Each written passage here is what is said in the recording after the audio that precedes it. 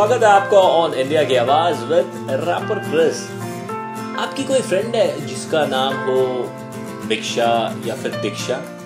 पता है, इस तरह के नाम की लड़कियों के साथ सबसे बड़ी मिसकंसेप्शन क्या होती है? इनको लगता है मुंबई की सारी सड़कों पे नहीं पुकारा जाता खासतौर से उस वक्त जब कोई हैंडसम डूड मेरी तरह हाँ हाँ अपनी तारीफ़ क्या करना भाई? मैं भी हैंडसम ही हूँ। मेरी तरह डूड खड़े होकर आवाज़ दे। रिक्शा। और ये पलट कर। एक्सक्यूज मी मैंने आपको पहचाना नहीं। बुलाए मेहमान। भला इनको किसने आवाज़ दी?